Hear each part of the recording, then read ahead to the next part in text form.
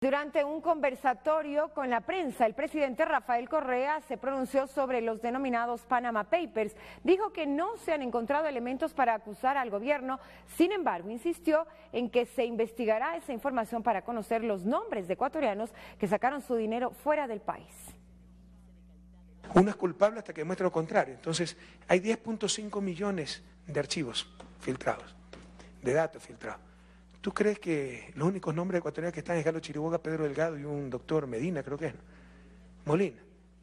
Hay gente, banqueros, políticos, pero opositores al gobierno.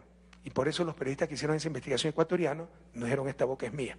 Y trataron con esos nombres, por una casa que se compró en el 99, otra casa que se compró en el 2008, que se explicó en un enlace ciudadano, por un asesor de 18 meses externo de Senaín. Es un absurdo. Eso es lo que han hecho con Senaín al tratar de involucrarlo a Romin Vallejo.